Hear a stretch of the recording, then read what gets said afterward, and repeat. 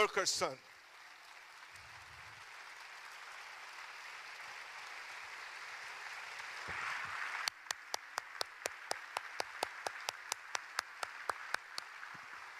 I love you, Dave.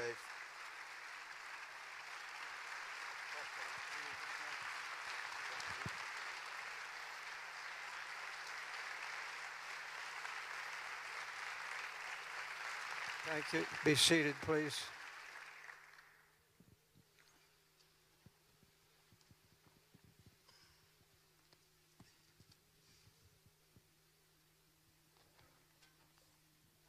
Well, one thing we have to say before we say anything else is that God is here. I said God has been here, and He's here at this moment also. I wouldn't be here if it wasn't for that blonde lady sitting here in the front seat. Honey, there are a lot of new people, some in the balcony. Just stand up and wave at the people so they can remember you in prayer.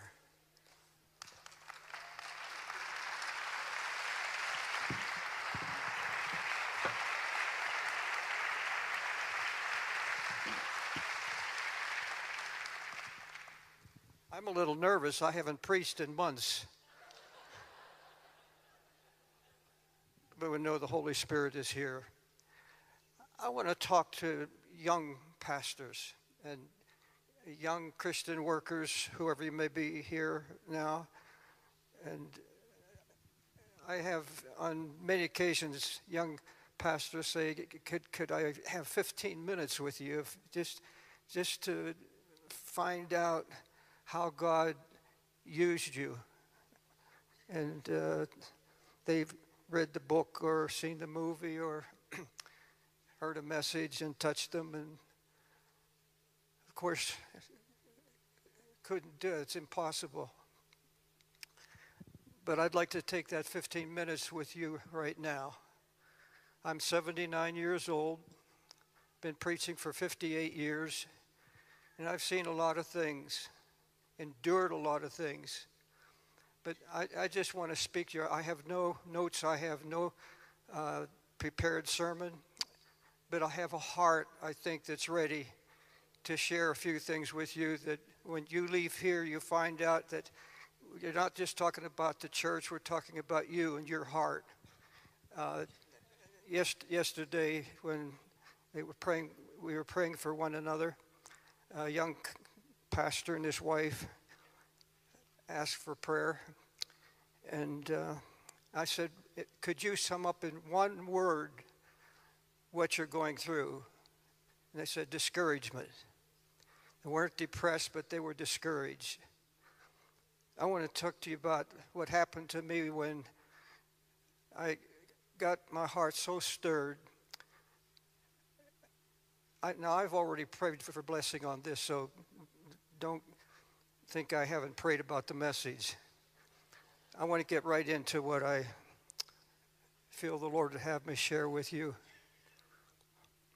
I pastored a little church in Pennsylvania, town of about a thousand people. Pastored a little church of about a hundred people. They were good people. They were farmers. They were miners and I loved them, and I pastored there for five years. But on the fifth year, especially, it had been growing on me for quite a while. I, I, I would see the same faces. No one was being saved. And had, we had a nice little cottage next to the church and enough to live on. And I, I did what most of us do. I had my devotional time and I read my Bible, especially to get sermons, and occasionally would just read for the sake of trying to get closer to the Lord's heart. Not an educated man, I had one year Bible school.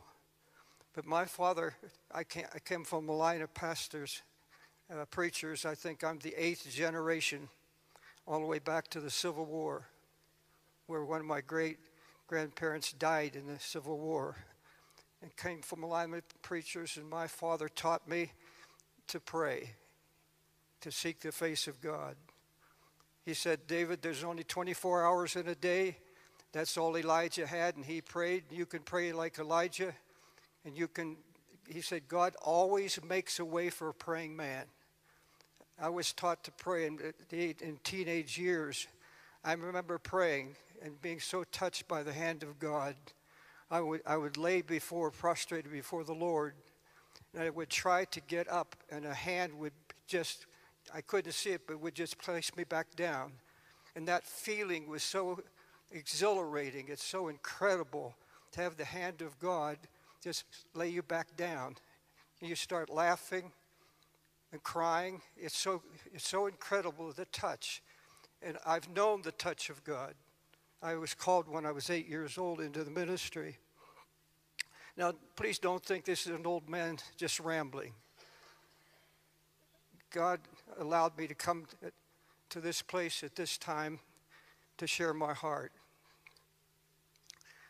I, I, I got tired, I got weary of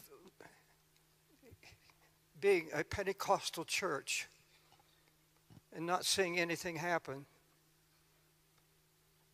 Preaching to the same people, four songs, testimony meeting, a sermon, altar call, and never see anybody at the altar. And I came to the conclusion that if this is Pentecost, I don't want it. All these years just in, in, in four walls and not seeing anybody. Of course, we weren't going out to see anybody. We're, we were not out in those restaurants and other places. But I began to seek the face of God. And when you begin to uh, seek the face of God, the devil will bring a conspiracy of interruptions. And I'm telling this now. If you set your heart to seek God, if you set your heart to seek Him, devil's going to put on you a conspiracy of interruptions. You'll receive calls like you've never received before. He will do everything to keep you from the prayer closet.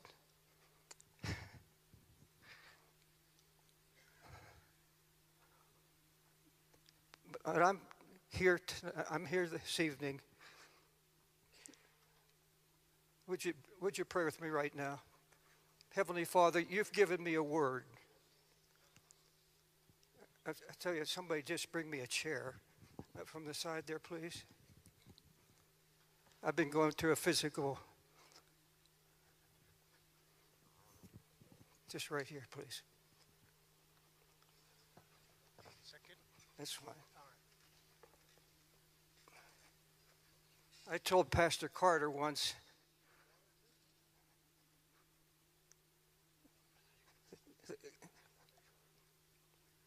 that there may be a day come when he has to wheel me out in the pulpit in a wheelchair, but I'll still be here.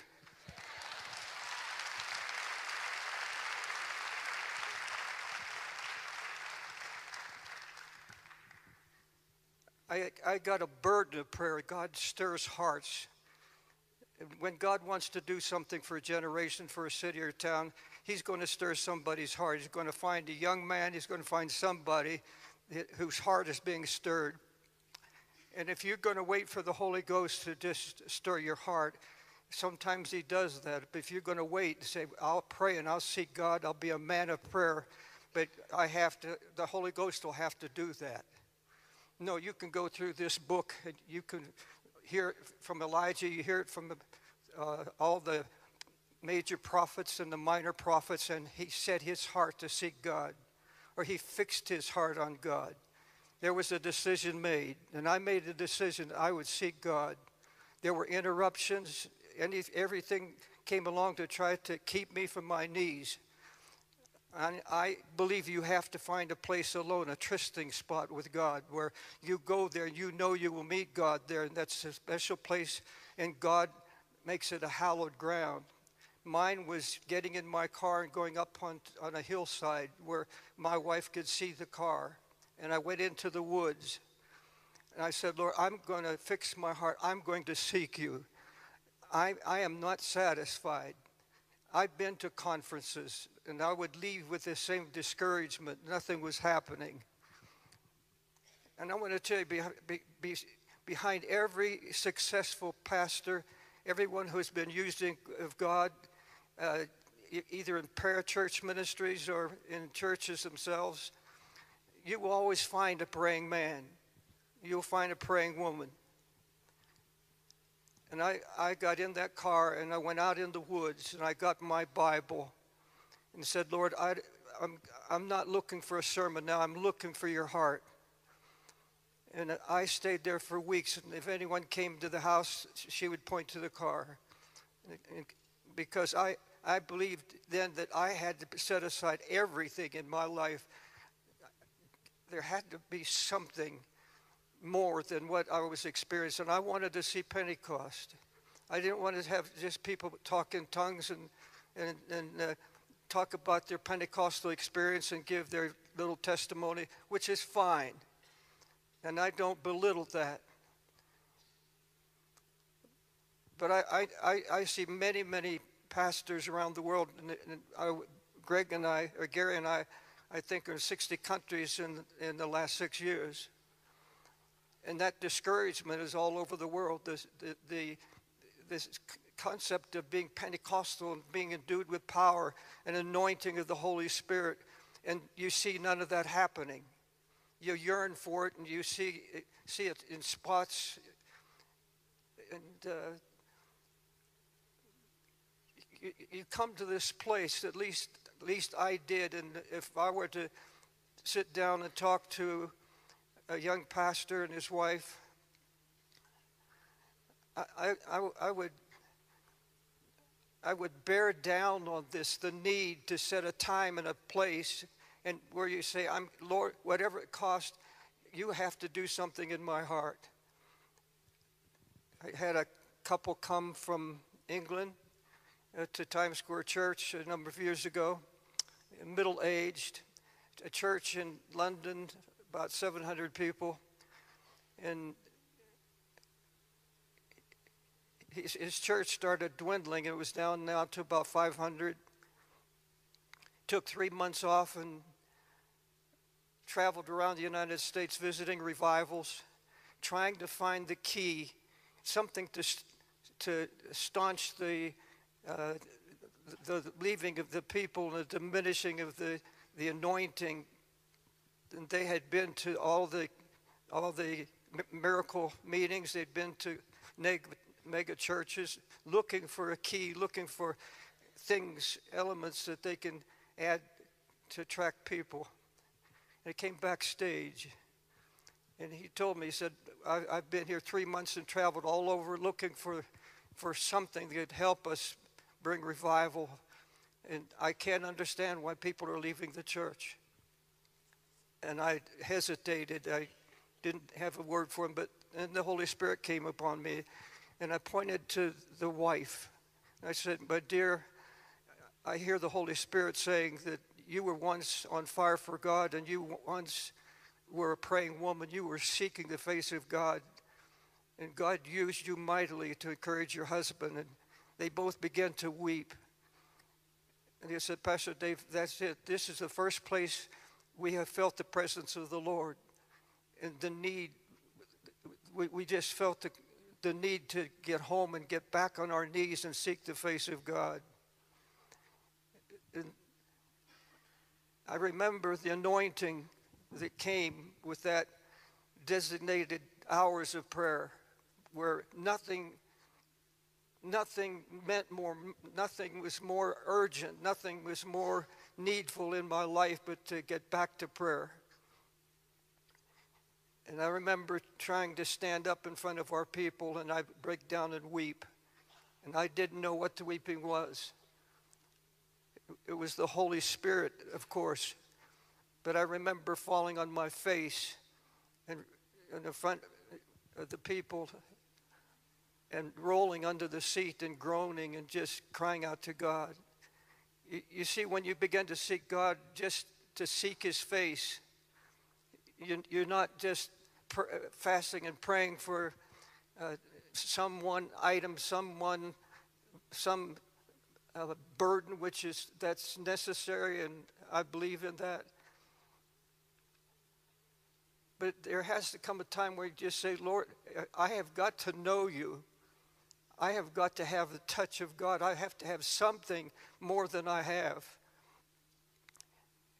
And I had a little prayer room in our little cottage, just a very, about a eight by ten or so, and I would spread a carpet. Remember, it was green. And I just said, God, I want to know why you're stirring my heart. I want to know what this is all about. Are you opening a door? What it is I didn't know. And this has been told in the cross and switchblade, but I, I, I just want to share my heart with you on it. And I said, Lord, you have to tell me what's going on because I, I, I, am broken. I weep before you. And you're opening the word because I took my Bible with me up there in the woods and underlined it and just getting to know God, just getting to draw close to Him. I, I wasn't praying for ministry. I wasn't praying for anything, but, praying for God, make me fruitful. Use my life. I, you called me when I was a, just a boy.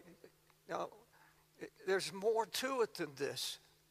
This is not Pentecost. At Pentecost, there were thousands saved, and, and there was fruit, and there was blessing of the Lord, and I don't have it. I've been preaching dry sermons. And one day when I was there, magazine, Life magazine, was on the on the uh, on my desk, and the Holy Spirit said, "Pick it up and read it." A picture of the seven boys, and of course that led to my call in New York City.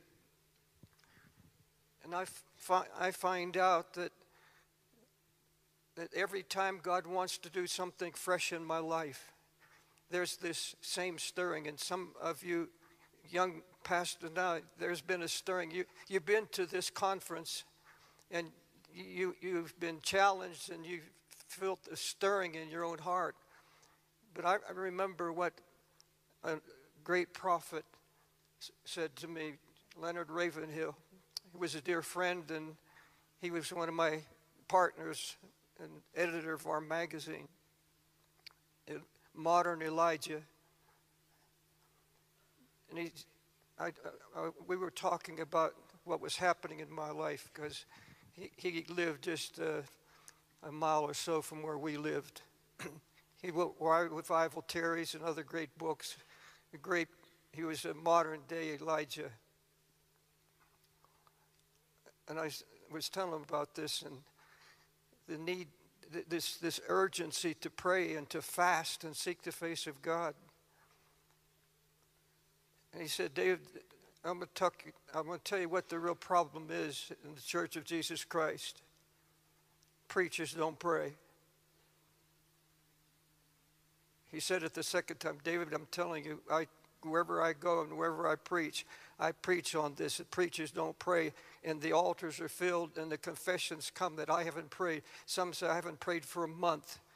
Some don't even believe that prayer works anymore because they don't see immediate answers. And I've found that all over the world that preachers don't pray.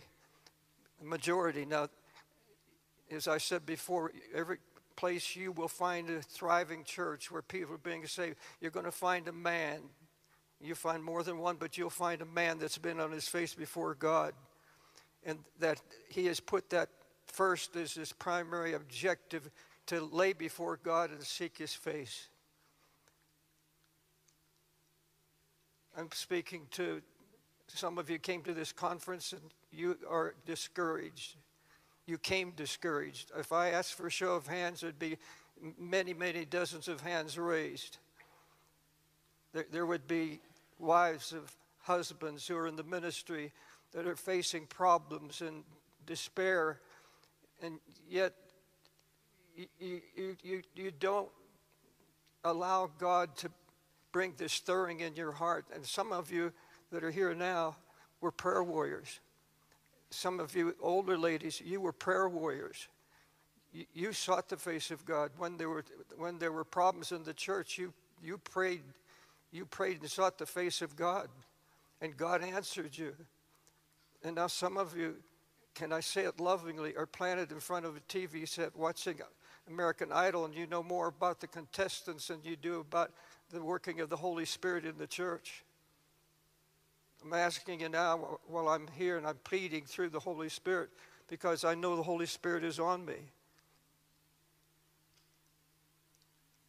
I'm asking the mothers of Zion, uh, where are you on Saturday night before the service? What are you watching? And where is your heart? And what about the coldness?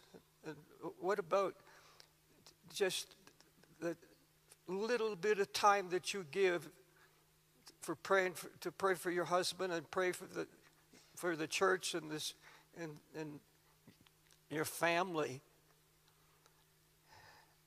Where is the burden of the lord? I've prayed all my life all my ministry i've been preaching for 58 years. And i don't i seldom miss a day praying for all my children and having the burden of the lord. I was reading this morning, I think it's the 11th chapter of, of Acts. Paul goes down to Antioch. He'd been to Jerusalem and he said they, they added nothing to me there. But he heard about what was happening down in Antioch. There was a black man, believe his name was uh, Simon, and there were prophets, and there were teachers, and they, they were having prayer meetings. Saul, Paul, Paul goes to Antioch, and the story is very clear about how the man, how man gets a call of God. The Bible says, and, and they ministered unto the Lord. They ministered unto the Lord. They were they were simply giving their time in worship. The New Living Bible said they worshipped. They, they, they, I don't know how many days they were there, but it said they ministered to the Lord, first of all. Then it says that they fasted, and they fasted again.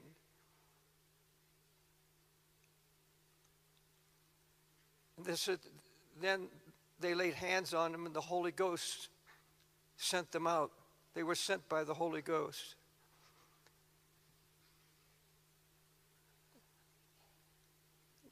God blessed me over these years. And I've known the hand of God,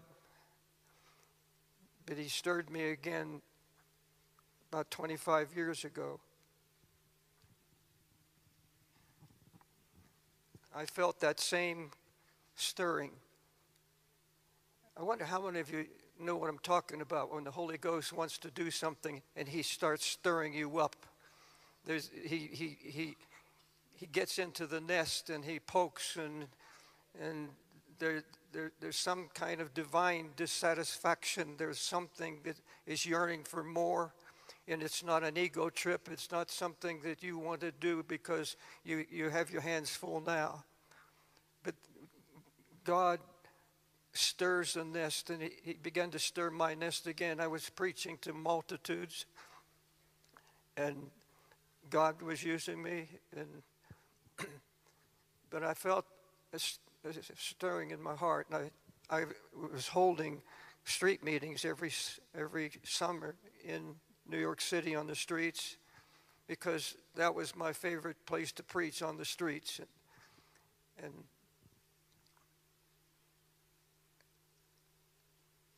I heard the Lord say, "Go back to seeking my face again."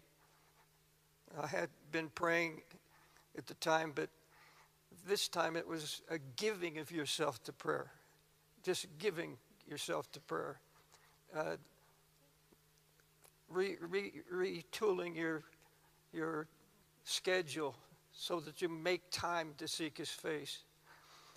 And this is what the Holy Spirit told me this morning. If you do nothing else, if nothing else is accomplished, when you stand up there for the audience. If nothing else comes out of the meeting but an urgency, a stirring, to get back to fixing your mind and your heart in true prayer uh, and ministering unto the Lord, just ministering unto the Lord. We get so tied up with getting a sermon, whether it's a series or some fresh word of the Lord, but oftentimes it takes us away from this, this commitment that I believe has to be made before God can be God can use a person. And I feel that there are some of you now that are discouraged and you're downhearted because you have you, you have done it in a measure. You have prayed and you sought the Lord and you fasted. And you said nothing has happened. What I'm talking about is having it out with the Lord where you say, Lord, I'm not quitting here. I'm not going to stop this until I get an answer. I'm, I'm, I'm not going to let you go. I, I, I, you have something that you're stirring my heart about. There's something that you want me to do, and I'm going to wait until the Holy Spirit says. I know when I went to New York City, first time for gangs and drug addicts, I knew the Holy Ghost sent me because I was with him, because he came upon me. He laid his hand upon me. And I don't think that's unique. I don't think that's, that's uh, uh, just common to myself or a few other people been used by God. But I believe that there's some that are being stirred right now, and you can't leave this conference. You can't go back to where you were, and you can't settle down and be satisfied, or just saying, This is the cards that have been handed to me. This is what, what my life is going to be. This is, I'm destined to just be here. Folks, I shudder to think what would happen if I didn't set my heart to seek the face of God and here go to New York City and talk to those boys. Picture of seven boys indicted for murder. Go there. I believe all true ministry comes out of intimacy with God. I, ha- I believe that the Holy Ghost is always stirring. God is always moving by His Spirit. And He, he, he will take uneducated, He will take those that have, have never known the flow of the Holy Spirit. And He will, He, he can bring to you something so far beyond what you what you have ever conceived in your mind, how God can use you. I, I went to New York City weighing 117 pounds, uneducated, uh, but there was something that came out of that intimacy with the Lord, and that was a spirit of faith. It came by just reading that word. I wasn't saying, trying to pray for faith. Faith comes. You just read it, it'll come. You don't have to figure it out. You don't have to read a book, it'll come. The Lord stirred my heart again about 23 years ago. I was on the streets of New York preaching again, and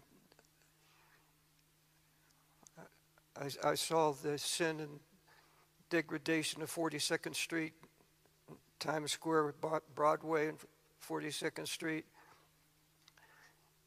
And the Holy Spirit whispered to my heart, You get back to prayer and seeking His face as you did in the beginning.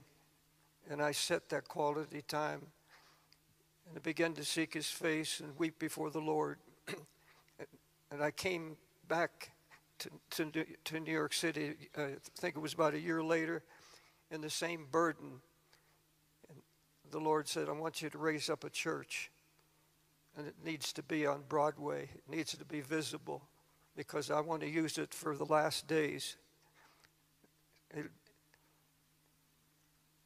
and God answered prayer. He gave us one of the the most beautiful theaters in the United States.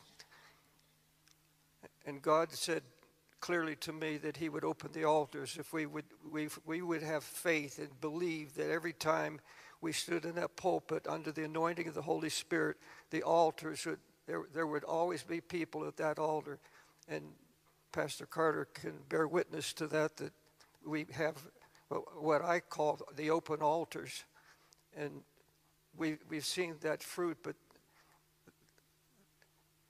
I don't think, looking back, I don't think a church would be here and touching the world if I disobeyed that word from the Holy Spirit that comes in. It's, it, it, Antioch, it says Paul and Barnabas went out sent by the Holy Ghost. And I know that the Holy Ghost sent me there. And I know that it came through intimacy with the Lord. The word of the Lord came.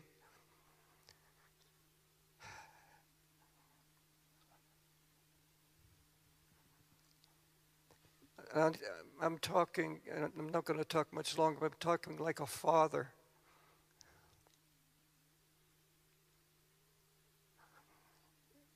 And I hear the Holy Spirit speaking and urging me. And just like a father talking to a son or a daughter.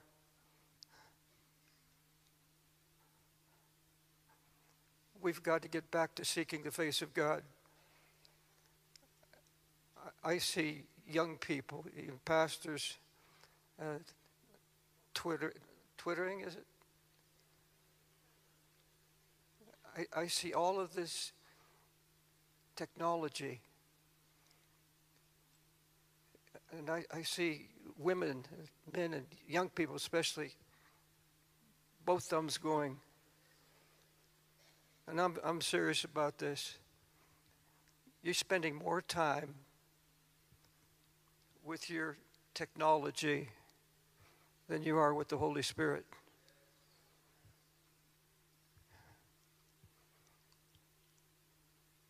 I'm speaking from the throne now.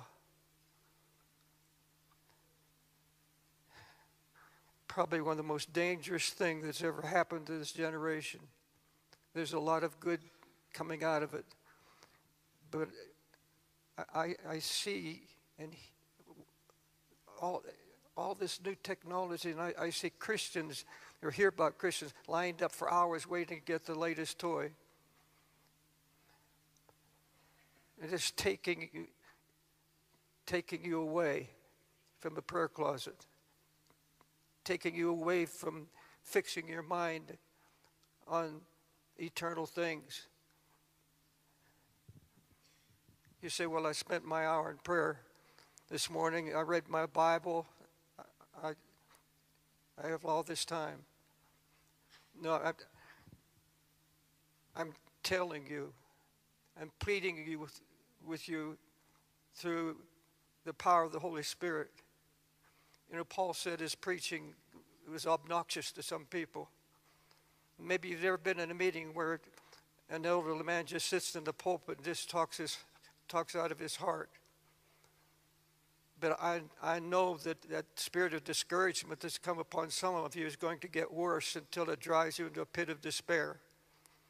Until you, even if you have to have a, have a technology fast. I, I'm telling you, there's some of you so hooked on your technology, your Facebook or whatever book it is, and spending so much time preoccupied where you don't have a free mind. You, you, you, you have all of these things moving in your mind and all of these uh, messages to catch up on and all of these things that are, are, are bouncing through your mind like tennis balls. That speak it in the mind of the Holy Ghost. And if, if nothing else comes out of this meeting, it's a call from you, from the Holy Spirit through me right now. Take this before the Holy Ghost and think about it.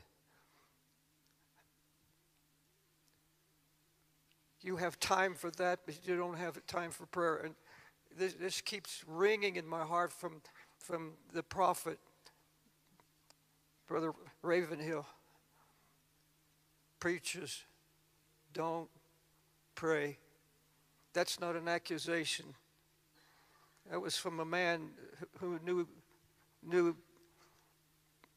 the Father in prayer like few other men I ever have met.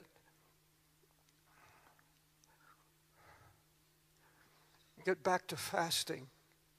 Pastor Carter calls for three day fast three or four times a year, and one's about to come up. And if, if, if you want to know the secret of what God is doing there, it's this prayer and fasting. If you go to Brooklyn Tabernacle, it's prayer, 3,000 people to prayer meeting, and the fasting, and being sent, drawing a, drawing a, a narrow circle, and seeking God within that circle. Jesus drew a small circle around what he was called to do from his Father. He had someone come up and say, I'm having trouble with my brother on an inheritance. Can you pray for me? Can you give me advice? And Jesus said, No, that's not my calling. And many of you have such a wide circle, you, you can't even find time to pray. If you have to narrow your circle, and start saying no to some of the demands around you, especially if you, if you uh, are multitasking all the time and draw a narrow circle. I have drawn in my lifetime, I've drawn a narrow circle, and I stay within that circle. And I've learned to say no to anything that would rob me of my time with the Lord. Now, I'm, I'm not where I should be right now as far as seeking the face of the Lord. Physical problems and, and family uh, problems of health, and and yet I feel that urgent call again because something is coming so soon. Everything that can be shaken is going to be shaken just as the Lord has has promised. Pastor Carter uh, spoke about that yesterday. But everything that I've been prophesying over the 30 years. It's at the door. We're, we're, we're facing now the final, final word from the Lord. Prepare to meet your God.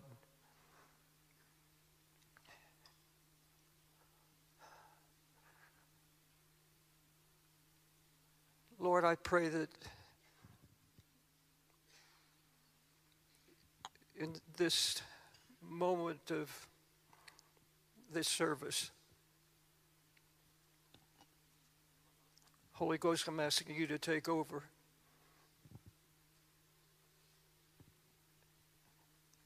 I've preached weakly and frail.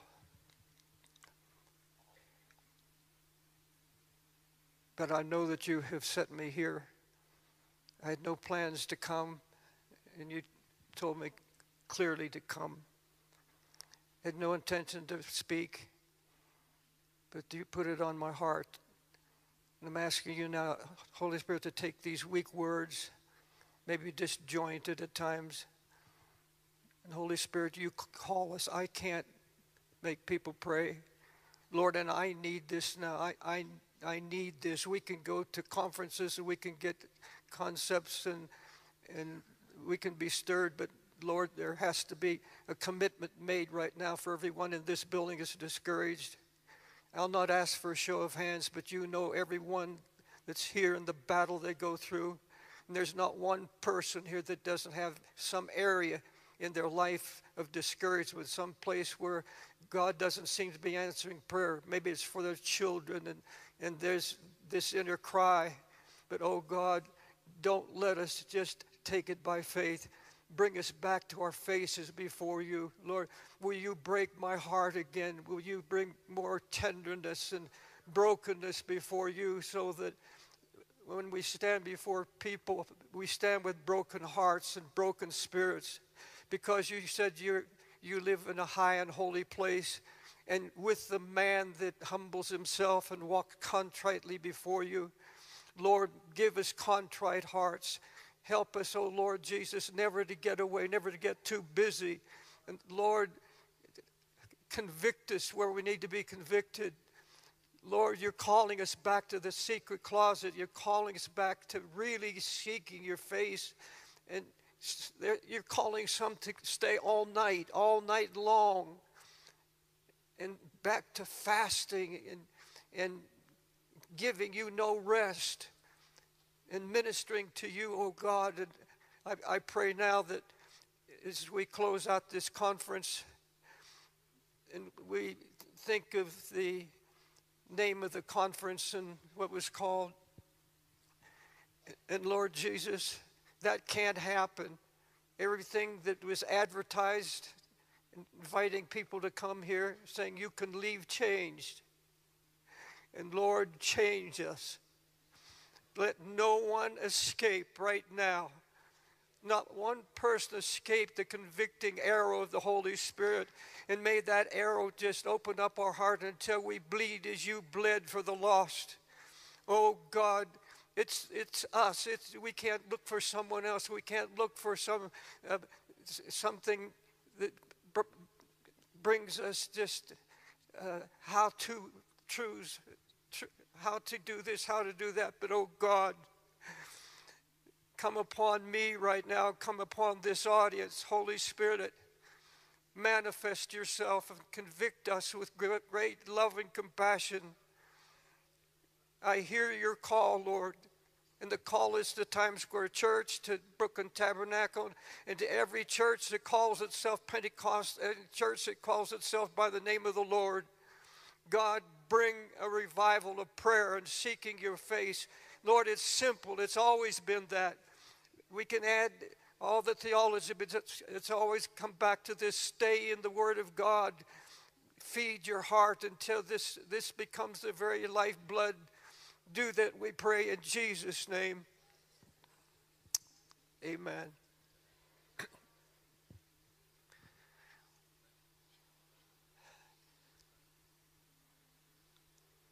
I don't know how to close this meeting, and that's not my job. Is somebody behind me here? Would you stand?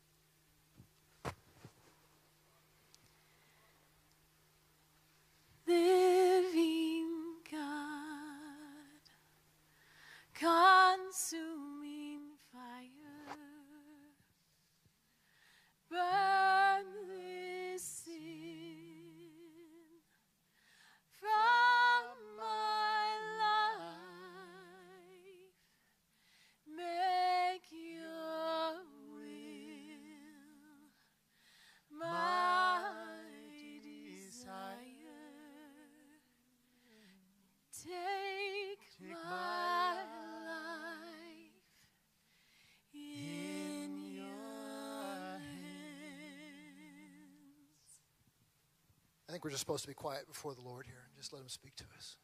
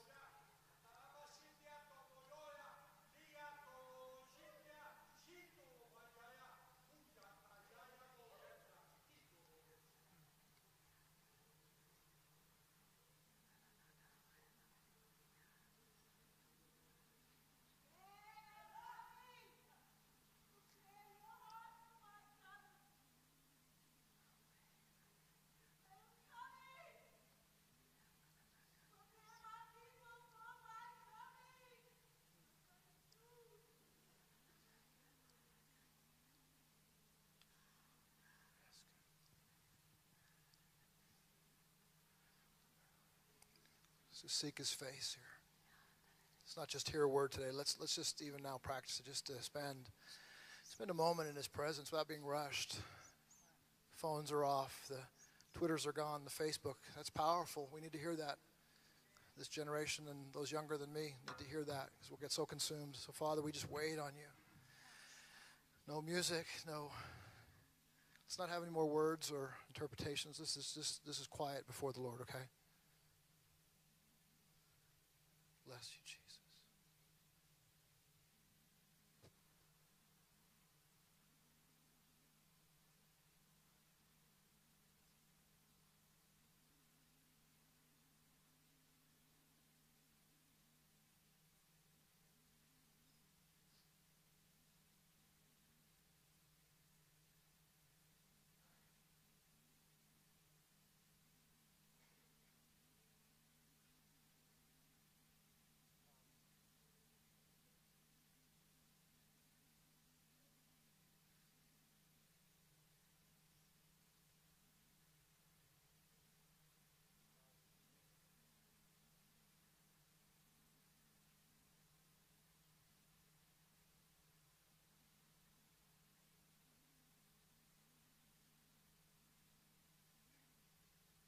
We're going to open the altars one last time.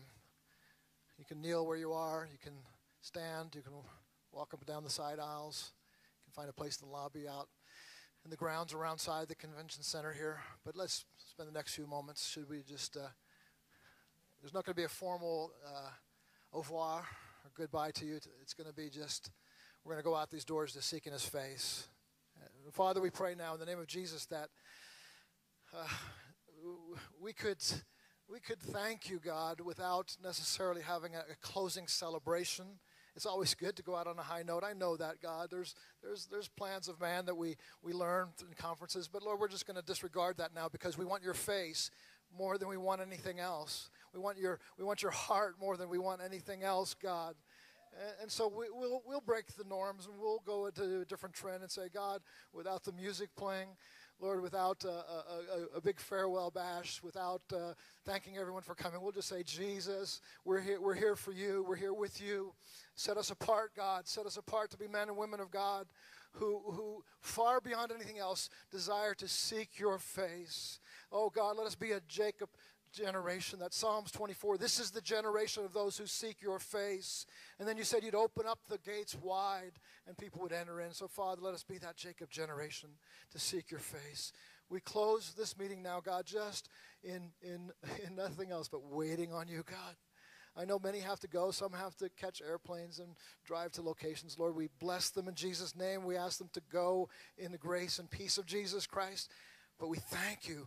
In closing, we have this time just uh, we've heard a word from a, a, an elder statesman, a prophet of God, and he has called us to shut some things aside. And Lord, we just we, we give the first fruits of that right now, even in this auditorium, and say, God, we're going to do that in Jesus' name. Feel free to come to the front, the altar. Otherwise, God's blessing on you, grace and peace.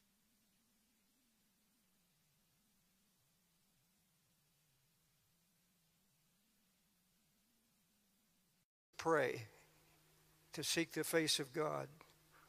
He said, David, there's only 24 hours in a day. That's all Elijah had, and he prayed. You can pray like Elijah, and you can. He said, God always makes a way for a praying man.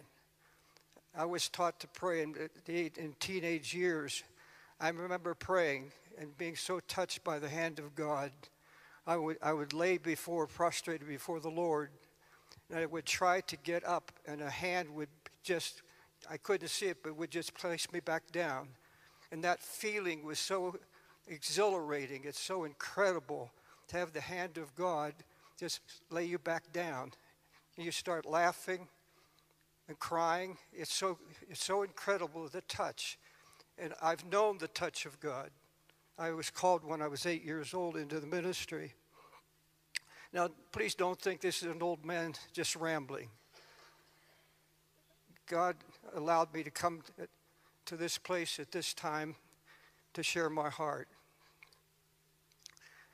I, I, I got tired, I got weary of being a Pentecostal church and not seeing anything happen. preaching to the same people, four songs, testimony meeting, a sermon, altar call, and never see anybody at the altar. And I came to the conclusion that if this is Christian workers, whoever you may be here now, and I have on many occasions young pastors say, "Could could I have 15 minutes with you, if just just to find out how God used you?" And uh, they've read the book or seen the movie or heard a message and touched them, and of course, couldn't do it. It's impossible. But I'd like to take that 15 minutes with you right now. I'm 79 years old, been preaching for 58 years, and I've seen a lot of things, endured a lot of things.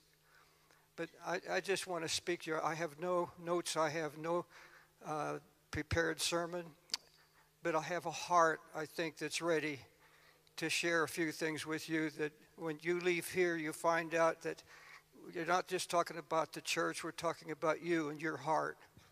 Uh, yes, yesterday, when they were praying, we were praying for one another. A young pastor and his wife asked for prayer. And uh, I said, Could you sum up in one word what you're going through? And they said, Discouragement. They weren't depressed, but they were discouraged. I want to talk to you about what happened to me when I got my heart so stirred. I, now, I've already prayed for blessing on this, so don't think I haven't prayed about the message. I want to get right into what I feel the Lord would have me share with you. I pastored a little church in Pennsylvania town of about a thousand people. Pastored a little church of about a hundred people. They were good people. They were farmers. They were miners. And I loved them, and I pastored there for five years. But on the fifth year, especially, it had been growing on me for quite a while. I, I, I would see the same faces. No one was being saved and had, we had nice little cottage next to the church and enough to live on. And I, I did what most of us do.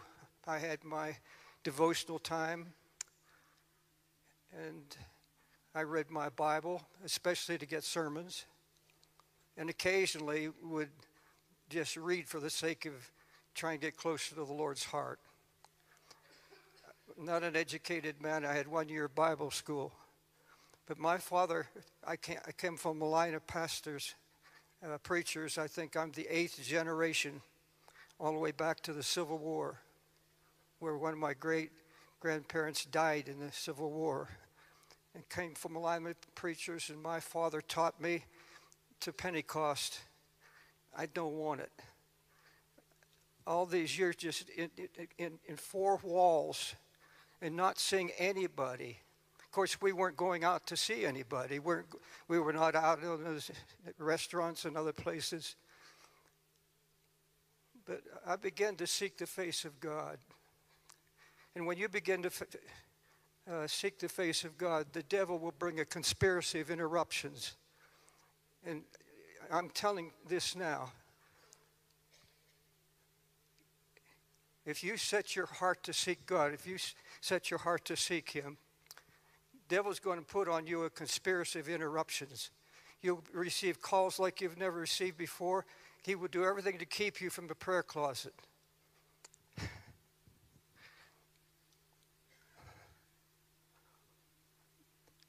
But I'm here.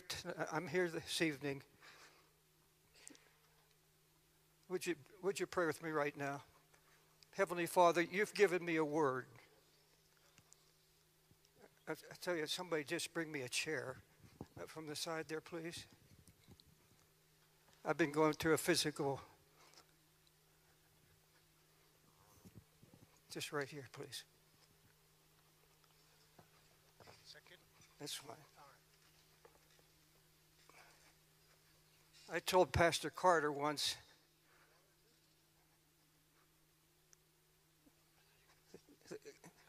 Wilkerson.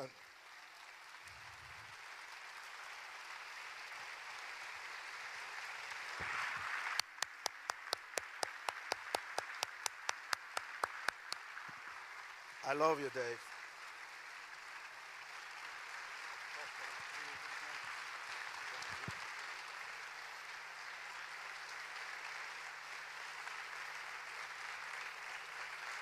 Thank you. Be seated, please.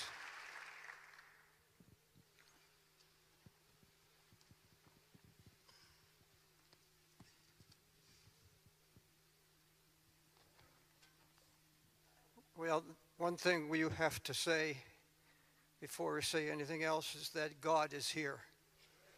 I said God has been here, and He's here at this moment also. I wouldn't be here if it wasn't for that blonde lady sitting here in the front seat. Honey, there are a lot of new people, some in the balcony.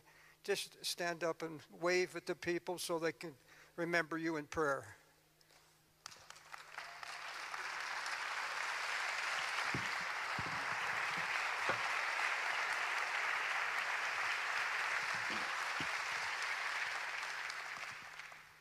I'm a little nervous. I haven't preached in months. But we know the Holy Spirit is here. I want to talk to young pastors and young